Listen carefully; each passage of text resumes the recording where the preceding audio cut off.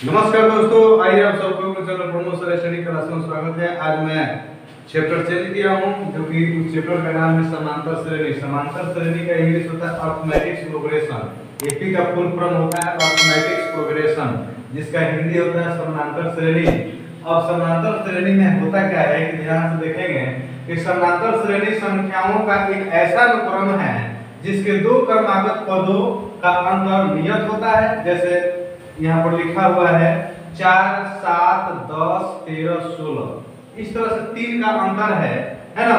सारा अंतर इसका कितना का है? तीन का है। अब इसमें अनुक्रम क्या होता है? अनुक्रम के बारे में चर्चा किया गया है कि अनुक्रम क्या है। अनुक्रम, यदि किसी संख्या समूह को लिखने में एक निश्चित नियम का पालन किया जा, गया हो तो उसे अनुक्रम कहा जाता है। अर्थात यदि किसी संख्या समूह को लिखने में एक निश्चित नियम का पालन किया गया हो, उसे अनुक्रम कहते हैं। दूसरा का पदांतर। पदांतर क्या है? पदांतर। अनुक्रम में दो क्रमागत पदों का अंतर पदांतर कहलाता है। जैसे A N is equal to A M plus N minus M into D ये फॉर्मूला है, समझे ना? ये फॉर्मूला है। टी एन इजकल टू क्या? A plus N minus one into D अब देखिए नोट इसमें इसमें का नोट है समानांतर श्रेणी के परिमिति भाग को परिमिति समानांतर श्रेणी कहते हैं। समानांतर श्रेणी के परिमित भाग को परिमित समानांतर समांतर श्रेणी कहते हैं और परिमिति समानांतर श्रेणी का योग को समानांतर श्रेणी कहा जाता है। एक बार और सुन लीजिए।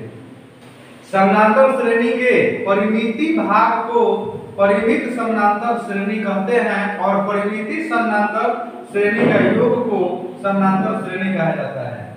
नोट समानांतर श्रेणी का व्यवहार इसके सार्व अंतर d पर निर्भर करता है।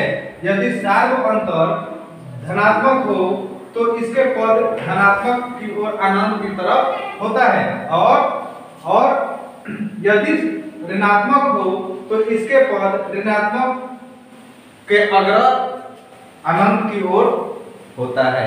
ठीक है? इस तरह से आपने समांतर शैली का थ्योरम को जाना और इसके बारे में कुछ विशेषता आपने जाना।